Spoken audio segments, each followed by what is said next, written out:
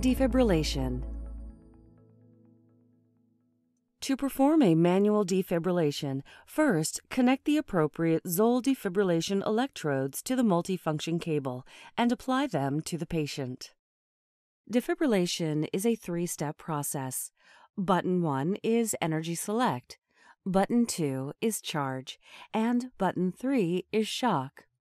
The X Series Advanced defaults to 120 joules when an adult electrode is attached, and 50 joules when a pediatric electrode is attached.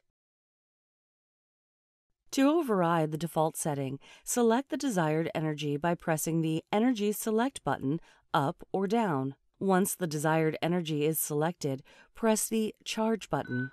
The X Series Advanced will charge to the desired setting with visual and audible indicators during the charge. Once it has charged, the red shock button will illuminate and a steady tone will be heard. Ensure everyone is clear and press the shock button to deliver the defibrillation. Note, always follow your local protocol regarding appropriate energy settings.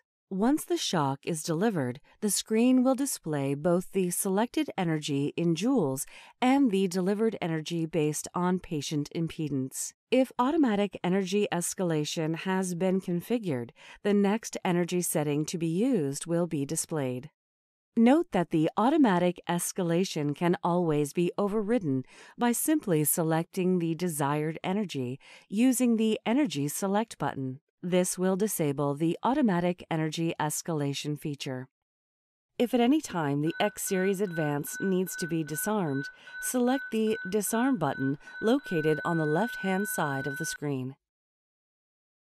This can also be done by pressing the Energy Select button